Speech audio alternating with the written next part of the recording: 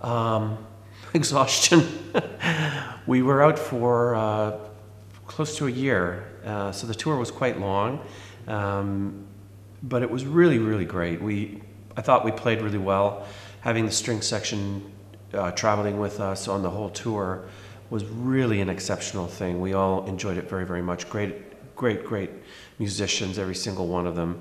And they became really a, a family with us, and we were very, very closely connected to them. Uh, in fact, I, I, I, really, really miss them, and I'm still in touch with uh, a few of the players, you know, kind of on a weekly thing.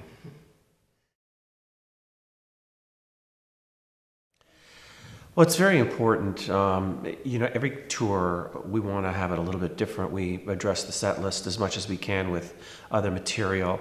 The visual presentation is very important. With Clockwork Angels, particularly, we had a, a storyline, a concept of what the record was about.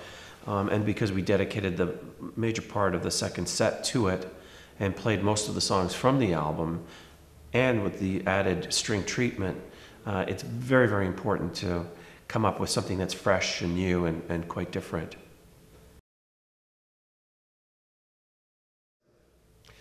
Well, depending on what the focus of that tour is, um, and, and usually it's whatever album we've released, we kind of work the visuals around uh, whatever the, uh, the storyline or the artwork or whatever pertains to that, that record.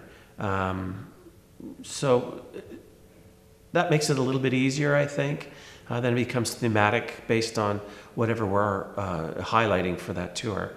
Something like um, our last uh, 30th anniversary tour, R30, uh, we, we treated that a little bit differently because it was a bit of um, a celebration of an anniversary. So that presentation included a lot of, um, you know, older uh, video stuff that we had and film and um, photographs from the past. You know, it was more about our history and, and how we presented it rather than a specific record.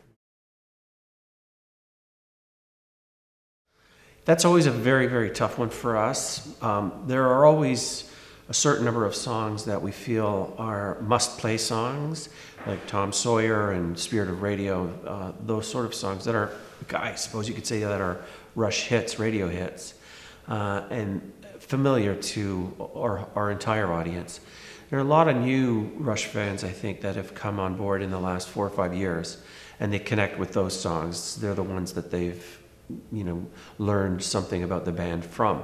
Uh, certainly for our older fans, there's probably a greater cross section of demand for older material and, and more obscure material, perhaps stuff that we don't play very often.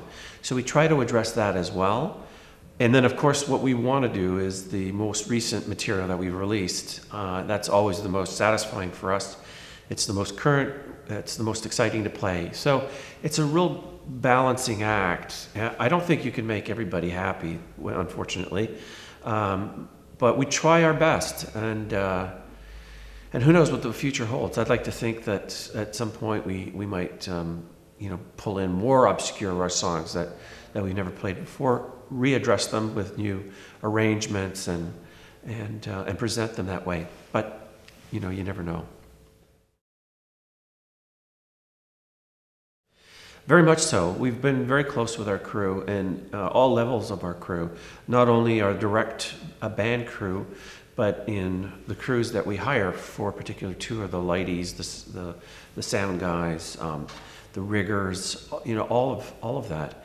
Um, it's it's really interesting to see so many faces come back, and a lot of the guys, you know, drop whatever tour they're on to come back to our tour, uh, and it's a it feels really good, I think, for us to know that there's such a sense of family that so many people, you know, want to come back and, and be there for that event. I mean, we try to be very close with everybody in our crew. There's um, an incredible level of um, uh, like a standard that everybody sets and uh, everybody contributes to the to the success of, of each and every show and it's nice to know you know there aren't any people that are kind of slack on their jobs or just do it because it's a job everybody pulls for everybody else if one of the lighting guys goes down then one of the sound guys pitches in and and those sort of things, you know, amongst all the crew members. So it's, uh, it's really gratifying to know that everybody's committed as much as we are.